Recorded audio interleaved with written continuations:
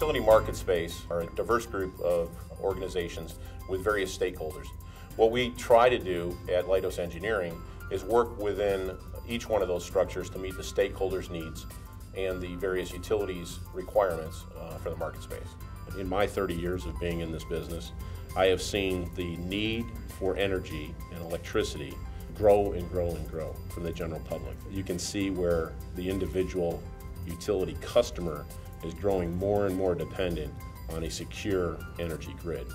And that's an exciting time for Leidos Engineering because we can provide that type of turnkey service to our customers from designing and engineering and planning, but also including the cybersecurity that's required around all those designs and engineering and, and, planning services.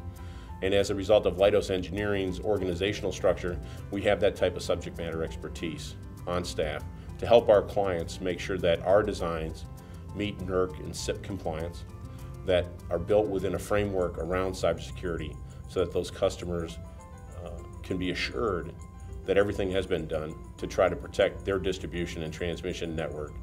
That's the type of work that Leidos Engineering brings that differentiates us from our competitors. This is Leidos Engineering.